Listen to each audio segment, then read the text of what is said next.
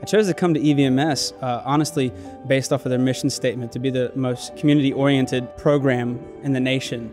Um, coming from a rural community where literally that's all you have is, is community members, um, the mission statement just blew my mind. I came to EVMS because they're very community oriented. And the emphasis on service learning was, was such a draw. I've always enjoyed helping people. And I wanted to be able to make an impact that was long lasting. I chose EVMS because of its service learning. I wanted to find a school that really loved the students and had a strong society focus and also wanted to give back. And so EVMS was just the perfect fit for me. Well, anytime you give back to the community or do something for someone else, it's uplifting. I mean, life's not about what you take, it's what you give.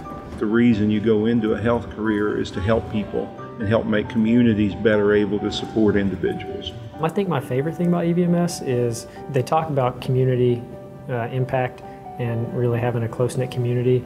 And it really, they do walk the walk here. Everybody uh, in the school is interested in helping the community outside the school. It's important for them to be literally getting out in the community to get a true sense of what it's like to give back to the community. Let's get that dialogue going. Let's talk about things. How can we make it better? How can we make healthcare better in our own communities? When you're a part of EVMS, you probably hear the word community at least 10 times a day, but it really is true. I mean, you know, we really are such a such an integral part of this community and, you know, I feel like there's something going on every week, if not every day, where some member of EVMS is doing something directly for the community.